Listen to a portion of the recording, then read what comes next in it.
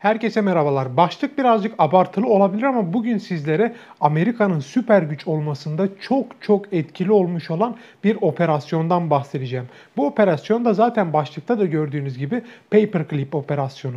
Pek çoğunuzun bildiği gibi en azından tarihle uğraşan çoğu kişinin bildiği gibi Nazi Almanyası 2. Dünya Savaşı'nda özellikle 42 ve 43'e kadar çok iyi bir ilerleme kaydetmişti. Pek çok alanı ele geçirmiş fakat daha sonra Doğu cephesinde ve Batı cephesinde ilerlemesini durdurmuş. Daha doğrusu müttefikler tarafından durdurulmuş ve en nihayetinde geri çekilme süreci başlamıştı. Artık yavaş yavaş Almanya kazandığı tüm topraklardan çekilmek zorunda kalıyordu. Çünkü müttefikler o bölgeleri geri almaya başlamıştı. İşte tam da yine bu geri çekilme sürecinde Almanya, Nazi Almanyası farklı bir karar alıyor. Daha öncesinde askeriyenin içerisinde, ordunun içerisinde farklı farklı kademelerde çalışan, kimisi çaycı olan, kimisi temizlikçi olan ama aslında çok da nitelikli kalifiye elemanlar olan Nazi bilim insanlarını toplatma kararı aldılar.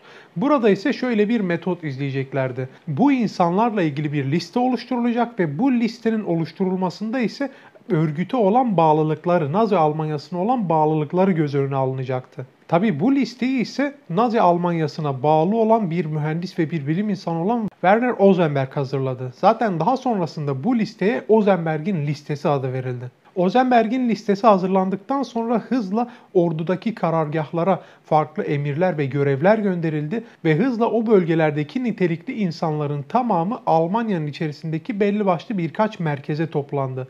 Buradaki amaç o insanları, o nitelikli bilim insanlarını belli birkaç merkezde toplayıp orada güvene almak ve daha sonrasında bunlara Alman askeri teknolojisini geliştirmeleri için çeşitli direktifler vermek. Çünkü artık Almanya bir geri çekilme sürecinin içerisine girmiş ve bu geri çekilme sürecini de durdurabilmeleri için herhangi bir şekilde askeri teknolojilerini geliştirmeleri ve benzine, petrole alternatif bir enerji kaynağı ortaya çıkarmaları gerekiyordu. İşte bu yüzden de o bilim insanlarına ihtiyaçları vardı. Fakat 1945 yılına geldiğimizde bu defa farklı bir olay gerçekleşiyor. 1945'te İngiliz istihbaratı olan MI6 bir şekilde Ozenberg'in listesini ele geçirmeyi başarıyor.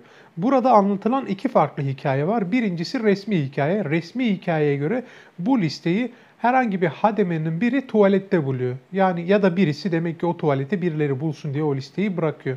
Resmi kabuldeki hikaye bu. Ama gayri resmi hikaye ise yani resmi olarak kabul edilmeyen hikaye ise bu listenin Almanya'da aslında casus olan bir hayat kadınının onlara sağladığını söylüyor. MI6 tabii ki bu listeyi Amerika'da CIA'den önce kurulmuş olan bir istihbarat servisi olan CIA'ye de veriyor. Yani onunla da bu listeyi paylaşıyor.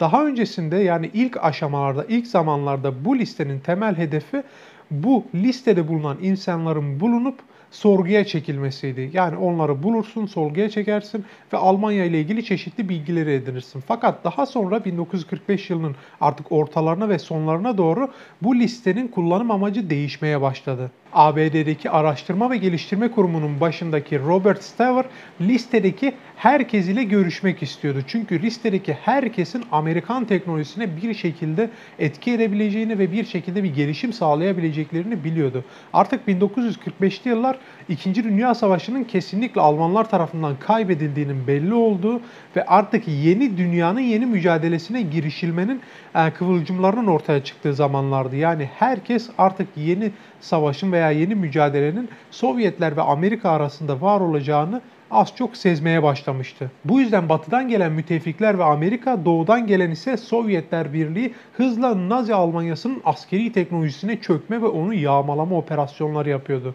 1945 yılında istihbarat servisleri o dönemin başkanı olan Harry Truman'a Ozenberg'in listesindeki herkesin ele geçirilip bir şekilde Amerika'ya getirtilmesini istediklerini söylediler ve bunların çeşitli alanlarda, teknolojide ve bilimde çeşitli noktalarda kullanılmasını istediklerini söylediler. Bu şekilde Amerika'da da bir gelişim ortaya çıkacaktı.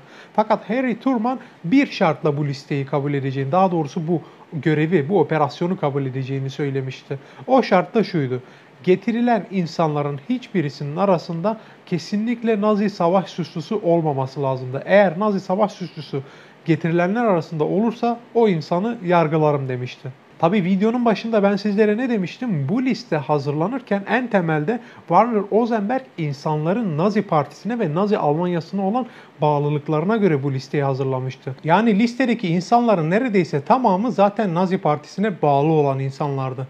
Ve bu yüzden de pek çoğunun savaş suçu da bulunuyordu. Fakat istihbarat servisleri yine de bu insanlardan vazgeçmek istemediler ve bunun yerine şöyle bir şey yapmaya başladılar. Bu insanların hali hazırda var olan savaş geçmişinin tamamını silmeye çalıştılar. Yani onlardan geriye kalan savaş suçuyla ilgili tüm kanıtları ortadan kaldırdılar ve adeta bu insanlara yeniden bir kimlik var ettiler. Ve işte bu yeni kimlikleriyle beraber de ele geçirdiklerinin tamamını Amerika'ya kabul edip zaman içerisinde de vatandaşlık verdiler.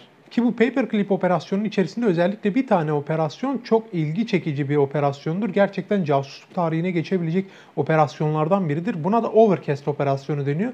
PNM'in de üstünde o dönemin bütün roket bilimcileri, askeri teknolojilerinin çoğu falan hepsi burada toplanmıştı. Ve bu PNM'in de üstünün bir diğer özelliği ise Alman V2 roketlerinin burada üretiliyor olmasıydı. V2 roketleri son derece önemli roketlerdi o dönemin tarihi için. Ben daha önce uzay yarışı video videomda da sizlere bunu anlatmıştım zaten bu PNM'inde ve V2 roketlerinin e, ne kadar önemli olduğunu. V2 roketleri aynı zamanda günümüzdeki pek çok uzay roketinin de temelini oluşturuyor. Ve dünya tarihinde uzaya çıkabilecek teknolojiye sahip olan ilk rokettir aynı zamanda. Ve işte bu üstte bu roketlerin üreticisi olan yani baş tasarımcısı olan Warner von Braun da bulunuyor. Roket bilimci olan bu insan da Amerika için ilerleyen tarihlerde çok önemli işlere imza atacaktı. Ve buradaki insanların tamamıyla gizli servisler bir şekilde irtibat kurmayı başarıyor ve bunları Amerika'ya iltica ettirmeye ikna ediyor. Tabii şöyle ilginç bir nokta da var. Gizli servisler onlara Amerika'ya irtica teklifi sunduğunda bu insanların aslında zaten çok istekli olduğunu da anlıyorlar. Çünkü zaten batmış bir ülkede çeşitli savaş suçlarıyla beraber bulunmak da istemiyordular. Bu Overcast harekatını ise ilginç yapan özelliklerden biri ise şu. Normalde Sovyetler Birliği orayı daha önce ele geçirecek bir konumda. Yani kara harekatıyla karadan ele geçirerek Batı devletleri, müttefik devletler o bölgeye ilerleyemiyor. Sovyetler daha yakın.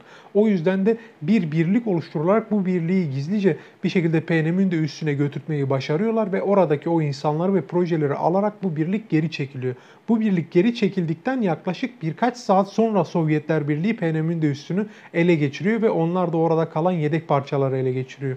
Yani gerçekten ucu ucuna gerçekleştirilmiş bir operasyon.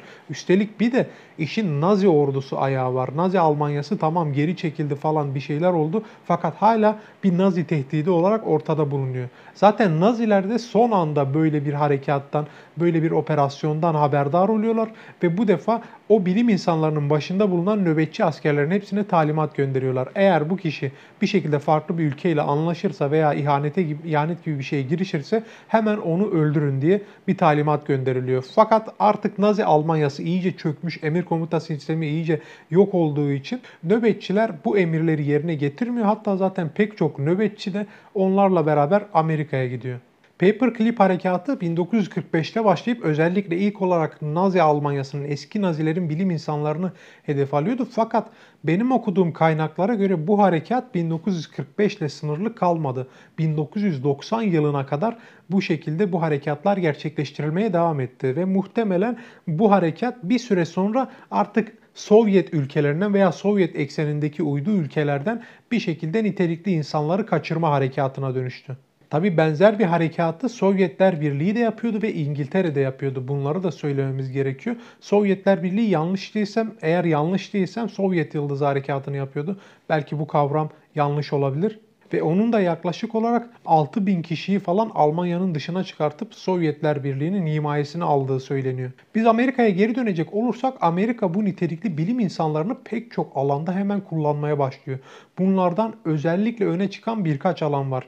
Birincisi uzay sanayi. Uzay sanayide Amerika gerçekten bu insanların belki de en fazla kaymağını yediği alanlardan birisi oluyor. Çünkü normalde özellikle 65-66'ya kadar Sovyetler Birliği'nin uzay yarışında geriye düşen Amerika Warner von Braun ve ekibini artık işin başına getirmesiyle beraber bu yarışta öne geçmeye başlıyor. Ve Warner von Braun'un bizzat kendisi zaten bir eski nazi. Hatta bazı çeşitli haberlere göre onun kendi tesislerinde yani V2 üretim tesislerinde yaklaşık 20 bin Yahudi aşırı çalıştırılmaktan dolayı ölmüştü. Fakat bunu o zamana kadar çoğu kişi bilmiyordu. Yani Amerikan halkı bilmiyordu. Hatta Amerikan yetkili kurumlarının bilene çoğusu bilmiyordu. Sadece gizli servisler falan biliyordu. Ve bu yüzden Warner von Braun bir dönem NASA'nın bilimsel daire başkanlığına bilene getirildi. Hatta Warner von Braun'un tasarladığı Saturn 5 roketleri sayesinde Amerikalılar Ay'a insan götürmeyi başardı ve uzay yarışında artık Sovyetler Birliği'nin önüne geçmeyi başardı. Yani bu adamın Amerikan tarihine etkisi gerçekten de büyük. Warner von Braun aynı zamanda sadece uzay yarışı için veya astronomi için çalışan biri değildi. Bu roketler çok kolay bir biçimde başına bir nükleer başlık yerleştirilerek nükleer roketlere de dönüştürülebileceği için aynı zamanda Amerika'nın roket programında da çalışmaya başlamıştı. İkinci bir diğer önemli kullanıldıkları sanayi ise kullanıldıkları alan ise Amerika'nın havacılık sanayisiydi. Havacılıkta Amerika o dönem çok aşırı iyi durumda değildi ve geçmeleri gereken bazı problemler, çözmeleri gereken bazı sorunlar vardı ve bu yüzden burada devlet bazı havacılık şirketleriyle görüşerek bu eski Nazi olan bilim insanlarını bu havacılık şirketlerindeki önemli noktalara getirdiler. Ve Amerikan havacılığının bu andan itibaren hızla yükselmeye başladığını ve hızla bir ivme kazandığını görmeye başladık. Sadece sivil havacılıkta değil, askeri havacılıkta da son derece önemli gelişmeler kaydettiler. Çünkü bizim bildiğimiz bugün günümüzden bildiğimiz daha doğrusu jet motorlarının kökeni Nazi Alman askeri teknolojisine dayanıyor. İlk defa jet motorlu uçakları Nazi Almanları denedi. Ve daha sonrasında Amerika'ya getirilen bu bilim insanlarından da bu jet motorlu savaş uçaklarını denemelerini ve geliştirmelerini ve aynı zamanda şu an ekranda gördüğünüz hayalet uçak yani Amerikalıların o efsanevi uçaklarından biri olan bu hayalet uçağın da ilk tasarımları Nazi Almanyası'na dayanıyor. Yani bu askeri teknoloji de aslında Nazilerden yağmalanmış bir teknoloji. Havacılık endüstrisindeki tüm gerçekleştirilen bu e, yenilikler diyelim ya da bilim insanlarının eski Nazi bilim insanlarının bu havacılık sektörüne uyumlanması proje 63 olarak geçiyor Amerikan tarihinde. Bunun yanı sıra bir de Allas harekatıyla Alman nükleer fizikçilerinin yani bu konuda çalışan eski Nazi bilim insanlarını Amerikan nükleer fizik programlarına dahil etmeye başladılar ve bu şekilde daha gelişmiş nükleer silahlar ve daha gelişmiş nükleer santraller üretmeye başladılar. Size bundan bir önceki videoda yani Manhattan projesi videomda bir şeyden bahsetmiştim. Almanların Heisenberg bombası denilen bir bombayı bulmaya çalıştıklarını anlatmıştım. Heisenberg bombası Almanların atom bombası olacaktı. Fakat bu bombayı üretemeden savaşı kaybettiler ve bu bilim insanlarının çoğusu da Amerika'ya kaçtı. İşte o yüzden o konuda nükleer fizik konusunda çalışan bu bilim insanlarını hızla kendi programlarına adapte edebildiler. Bir diğer önemli şey ise TICOM. TICOM'u ise sizlere şöyle ifade etmem gerekiyor askeri ordular bir şekilde birbirleriyle haberleşirken veya bir şekilde casusluk faaliyetleri gerçekleştirirken burada gizli bir şifreleme teknolojisi kullanmak zorundadırlar. Bizim gibi klasik haberleşme tekniklerini kullanamazlar çünkü düşmanlar bu haberleşme tekniklerini bir şekilde sızabilir ve sizden istihbarat kaçırabilir. İşte TİKOM'da Almanya'da şifreleme teknolojileri üzerine çalışan insanların Amerikan şifreleme teknolojilerinin geliştirilmesinde kullanılmasını anlatıyor. Yani programın temel amacı bu. Tüm bunlar sadece bununla da sınırlı kalmıyor. Bugünkü bilgisayarların ve telefonların kökeni olan bilişim alanında bu insanlar çalıştı, ulaşım alanında çalıştı, denizcilik alanında çalıştı, hatta askeri istihbarat alanında bile ne çalışanlar oldu. Yani bir şekilde bugün elimize attığımız hemen hemen tüm teknolojilerin içerisinde eski Nazi Almanların etkisi de var. Özellikle tıpta da bu etki var.